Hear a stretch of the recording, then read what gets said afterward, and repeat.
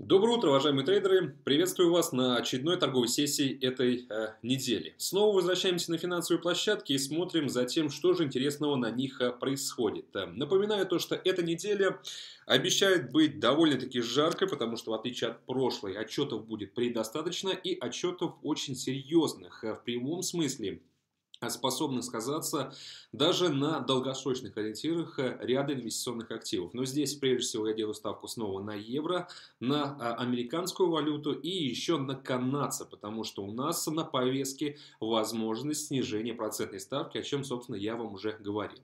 Обо всем предлагаю поговорить подробнее. Стараемся мы, разумеется, не упускать э, ни одного серьезного отчета и не пропускать ни одной торговой сессии, потому что очень важно придерживаться вот этого посыла преемственности и, э, соответственно, знать, что происходит прямо в моменте на финансовых э, площадках. Начнем мы сегодня э, с традиционно с бренда. Если есть возможность, откройте графики, посмотрите, давайте констатировать уже по факту. Минимальное значение прошлой торговой сессии по бренду 27.98, сейчас этот актив торгуется на уровне 28.95. Слегка отрастает, в целом это не меняет того негативного настроя, которого мы придерживаемся, потому что совершенно очевидно, что после снятия финансово-экономических санкций с Ираном, это ближневосточное государство получило зеленый свет, чтобы поставить на рынке дополнительные объемы и, соответственно, еще больше усилить, э, такой, э, усилить интерес к такому поводу, как переизбыточность энергоресурсов э, в рамках и масштабах всей мировой экономики. Это очень интересный повод, потому что он эм, вполне может быть заложен э, в основу как среднесрочного, так и долгосрочного трейдинга по, э, соответственно, бренду и WTI. От долгосрочного понижательного настроя мы не отказываемся, знаем то, что позиционно этот актив э, продолжит снижаться и в целом изменить ситуацию сейчас ничего не может. Почему мы вчера не видели более серьезную просадку? Потому что помимо того негатива, который присутствовал на рынке, связанный с тем, что Иран готовится поставить доп. объемы, был уже и не нейтрализующий фактор – это заявление со стороны Омана о том, что они готовы снизить объем производства на 5-10%. Но если у вас есть возможность э, проанализировать динамику производства со стороны этого региона, вы поймете то, что на самом деле здесь также радоваться нечему, потому что производство там Э, на довольно скромных уровнях, ну, по крайней мере, не на таких значительных, как в той же самой Саудовской Аравии. Для положительного момента, которых мы, мы не видели на рынке энергоресурсов очень давно, это а, повод, который все-таки поддержал нефть, но не думаю, что он будет иметь какое-то а, среднесрочное влияние. На повестке дня у нас еще возможность проанализировать э, актуальные данные по запасам нефти, это уже оценка АП. Сегодня мы Э, будем следить вечером за ней. Завтра в ходе брифинга я обращу внимание на конкретные цифры уже. Хотя думаю, что мы можем увидеть очередной э, прирост запасов. И если это произойдет, значит на нефть будет оказан уже и локальный фактор давления. Ну а в среду уже официальная статистика от Минэнерго США. Здесь преемственность также сохраняется. На прошлой неделе у нас э, был факт незначительного прироста. И мы видели, как это тут же сказалось на разгрузки Брента и WTI. Э, в качестве еще одного интересного фундаментального фона, безусловно, стоит отметить целый блок макроэкономических данных со стороны Китая, который был опубликован буквально несколько часов назад. Если у вас была возможность проследить за этой статистикой, молодцы, если нет, ничего страшного, потому что хорошо, что пока мы не увидели никакой паники из-за, по факту, выхода этих отчетов. Хотя, честно говоря, радоваться нечему. Розничные продажи, давайте говорить уже тоже э, на основании тех цифр, которые были опубликованы, ничего не приукрашивая. Э, розничные продажи 11,1 с прошлого 11,2. Промышленное производство 5,9% с прошлого 6,2. Капиталовложение тоже снизились 10% с прошлого месяца 10,2. Что касается квартального прироста по ВВП 1,6 с 1,8. То есть все четыре отчета оказались хуже прогнозов и серьезно контрастирует с той оценкой, которую мы наблюдали в прошлом месяце. По идее, э, этих данных должно было быть достаточно, чтобы уже несколько часов назад спровоцировать серьезную разгрузку бренда. WTI спровоцировать снова переток капиталов в защитные активы, франк, японскую иену, облигации, драгоценные металлы. Но этого сейчас не происходит. Почему? Э, важный, эм, правильный вопрос.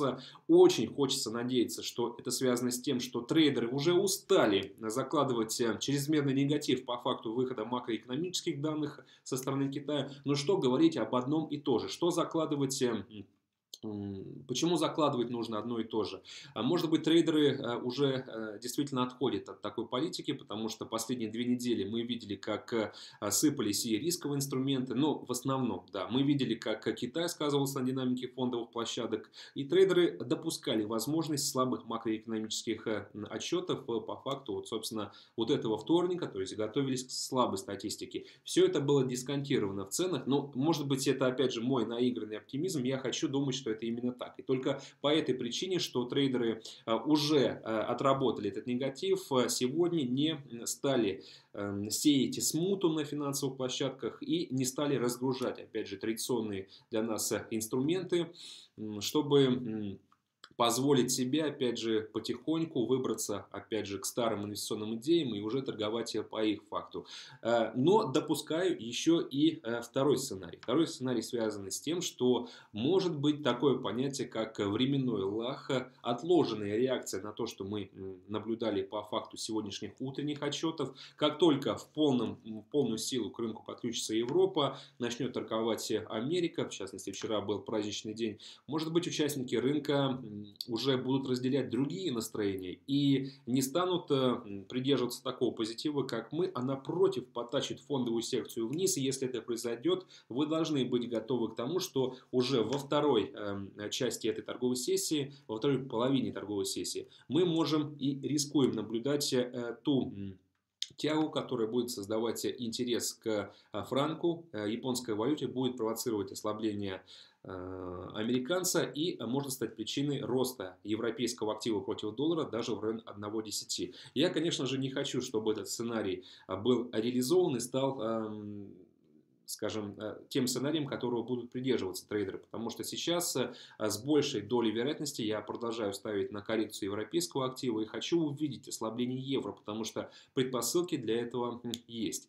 Э, что касается, опять же, э, этих э, релизов макроэкономических данных со стороны Китая, пока нефть практически никак не отреагировала на эти отчеты. Если мы действительно уже завтра поговорим подробнее по этому факту, то есть завтра у нас будет возможность подвести конкретные итоги по тому, как отработает сегодняшняя торговая сессия. Если трейдеры не будут провоцировать панические настроения, значит у бренда Э, в первый раз за много последних торговых сессий может появиться локальный фактор для такого же локального роста. Но если он произойдет, э, будем констатировать уже по факту того, что будет на рынке. И, э, соответственно, вернемся к этой теме уже в ходе завтрашнего брифинга. Пока позиционно долгосрочно, если вы заряжены на трейдинг именно Э, с точки зрения таких ориентиров вы должны быть уверены в том, что все располагает в пользу того, что бренд еще не нащупал минимальные уровни. И напоминаю вам, что по э, версии многих рейтинговых агентств эти минимальные ценовые значения по бренду значатся даже ниже по некоторой оценке 20 долларов за баррель. То есть есть еще куда падать. Что касается российского валютного актива. Если следите за котировками на премаркете, то сейчас можете заметить, как пара USD RAP торгуется на уровне 79,5. Наша цель с вами была 78, быстро ее преодолели, потому что нефть по-прежнему находится под давлением.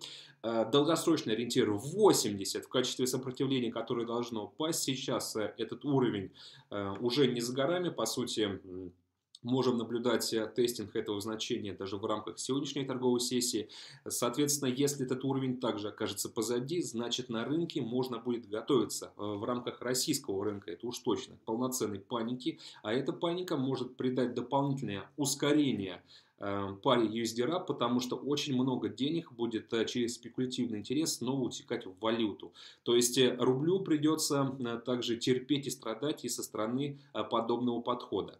Значит, если 80 действительно окажется поддержкой после того, как пара закрепится выше, будем ориентироваться на более серьезное ослабление. Но здесь для российской экономики нужно уже обозначать очень мрачное будущее, хуже 2015 года, потому что такой вектор девальвации уж точно непременно разгонит показатель индекса потребительских цен, что на фоне снижения заработных плат еще болезненнее скажется на состоянии, опять же, потреб активности, динамики розничных продаж. И, как я закладывал в самых мрачных ожиданиях и прогнозах, мы сможем наблюдать более глубокие, прошу прощения, показатели по рецессии. По, а, опять же, версии ряда инвестиционных банков, ну, особенно я слежу за Barclays, они прогнозируют то, что российская экономика может просить больше, чем на 5%. Это, разумеется, сильно контрастирует с а, теми, опять же, прогнозами, которые мы слышим от а, Минэкономразвития, от Министерства финансов. Они по-прежнему уверены в том, что российская экономика в этом году сможет найти основания даже для роста. Непонятно, на чем это обосновано. Поэтому торгуя парой USD USD Долгосрочно ждем э, закрепления пары выше 80. Сейчас э, все располагает к тому, что этот сценарий будет реализован. Как только окажемся выше, будем строить уже дальнейшие ценовые э, планы и придерживаться других ориентиров. Далее идем. Европейская валюта против доллара.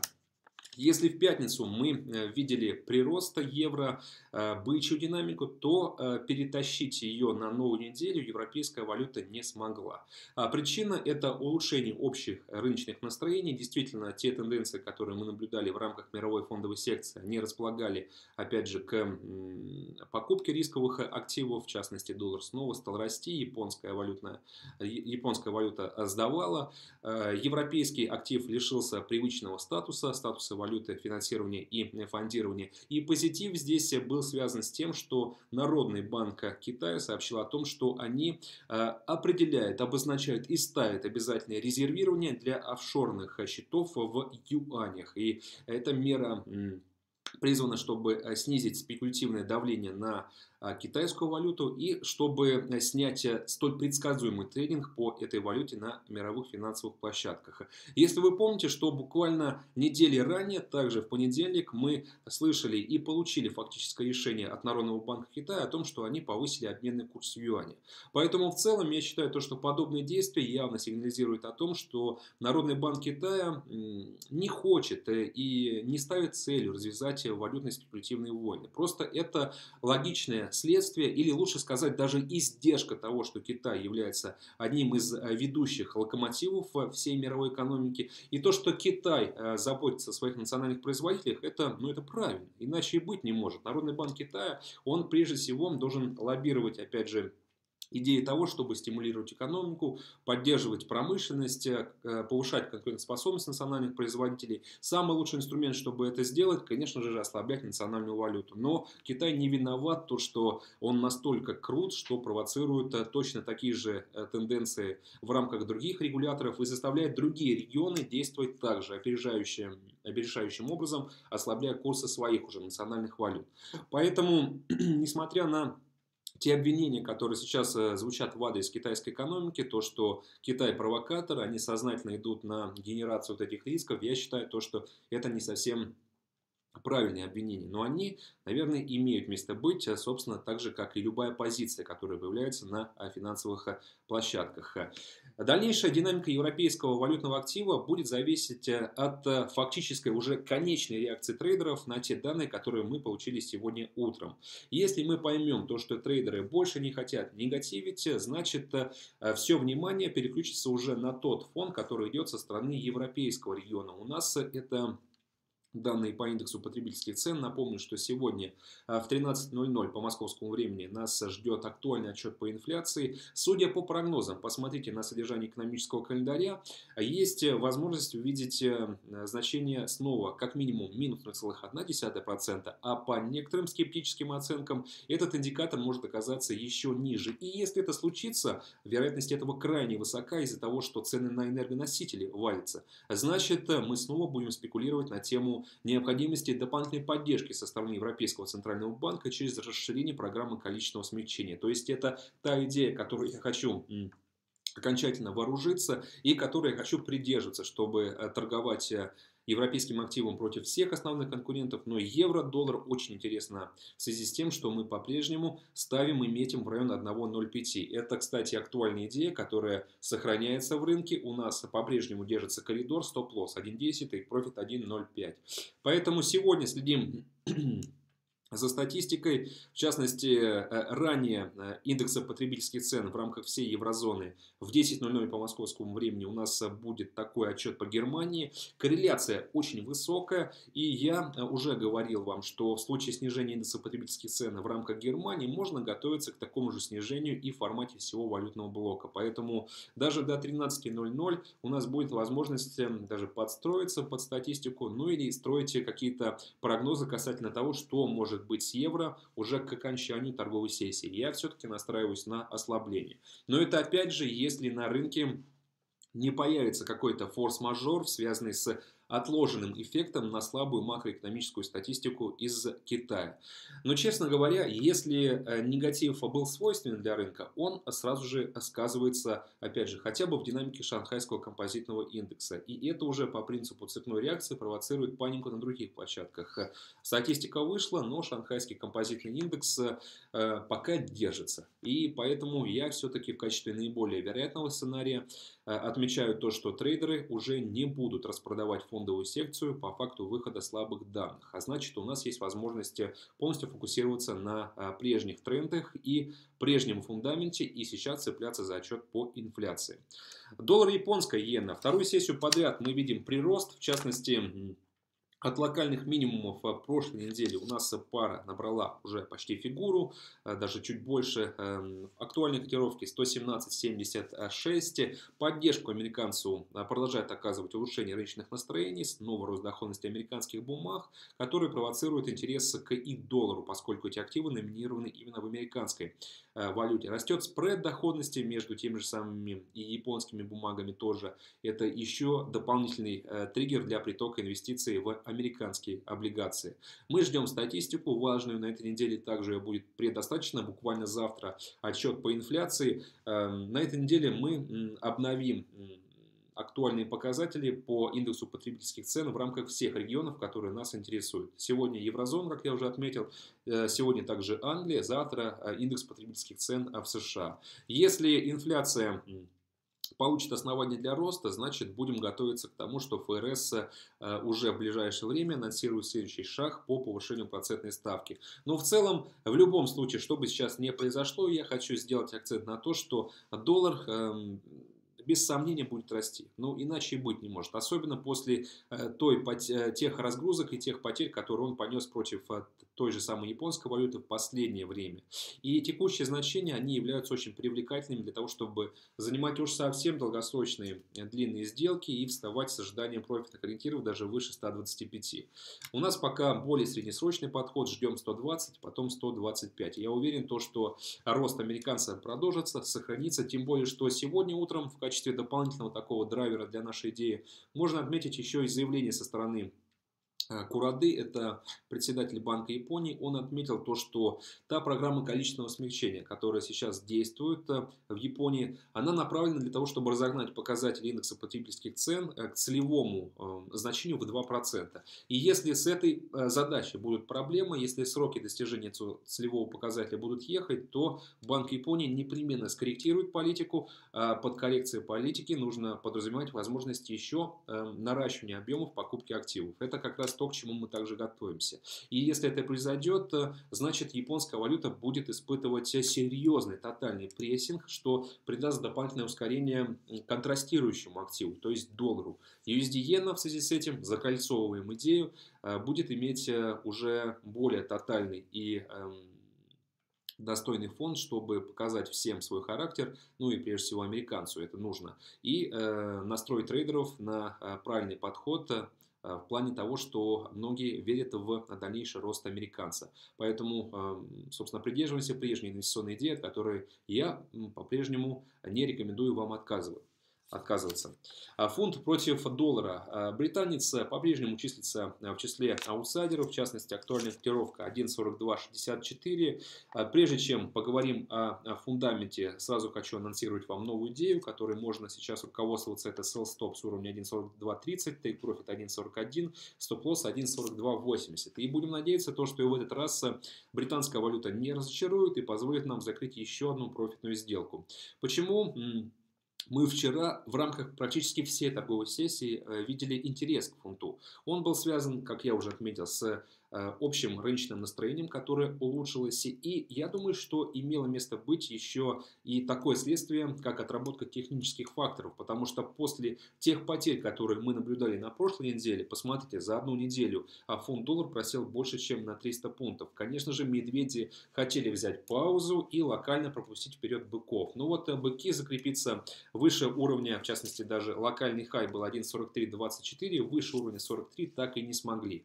Я думаю, что это прежде всего связано с тем, что участники рынка прекрасно понимают, с каким новостным фоном мы сейчас имеем дело. И они, собственно, тоже, э, торгуя фунтом. И э, сейчас актуальность новостного фона может быть еще больше подчеркнута, особенно через систему рисков, после выхода данных по инфляции. Сегодня в 12.30 по московскому времени нас ожидает собственно, обновленный индикатор и в рамках э, английской экономики.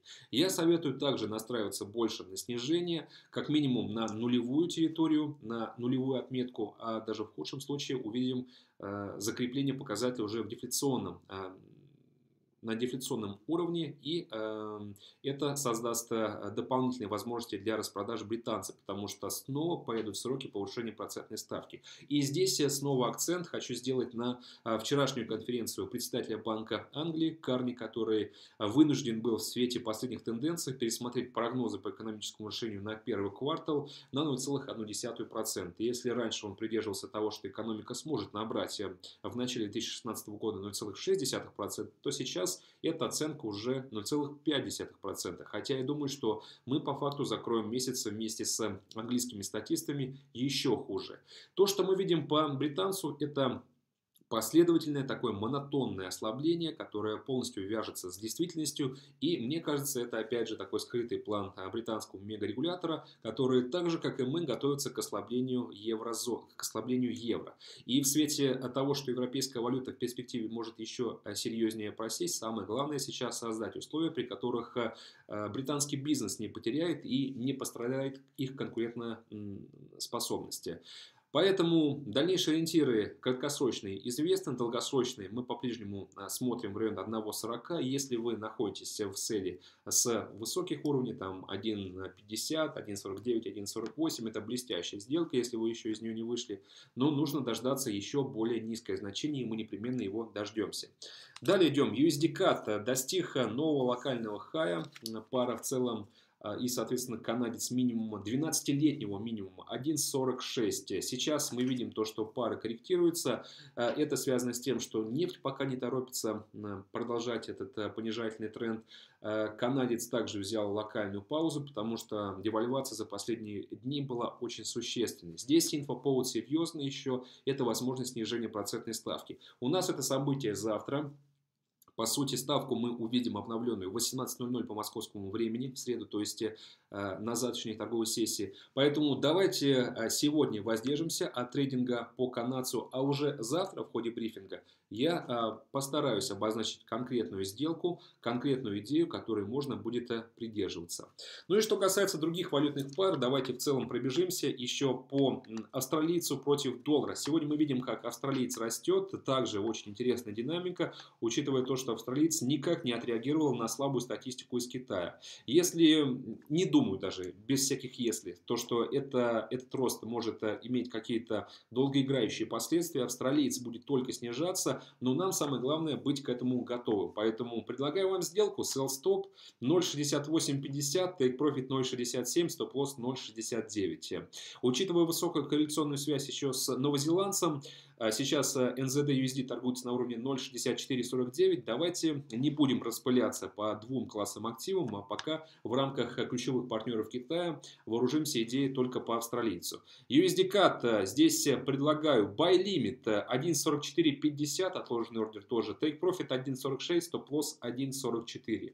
Если мы доберемся до ближайшей поддержки сейчас Э, в район 1.4450, э, значит будем покупать актив с этого уровня. Если не доберемся, то, как я уже отметил, завтра я дам уже новую инвестиционную идею, опять же в преддверии возможного снижения процентной ставки, вероятность которого сейчас составляет около 60%. Согласитесь, это довольно-таки много.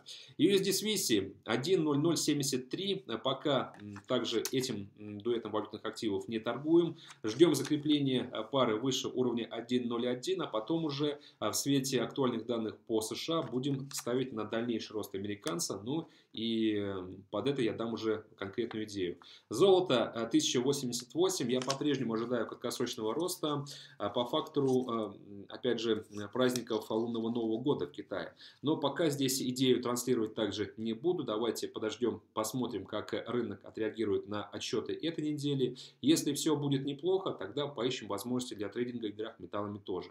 Если все будет э, хорошо, ну тогда в этом случае тоже найдем возможность для сделки. Собственно, на этом все. Из отчетов еще раз напоминаю, у нас сегодня данные по инфляции. Это еврозона в 13.00 по московскому времени, в 12.30 до этого Ранее на полчаса актуальная статистика по индексу потребительских цен в рамках Англии. Везде ждем снижения, которое может оказать дополнительный негатив и спровоцировать разгрузку для и британца, и, соответственно, для главного валютного риска.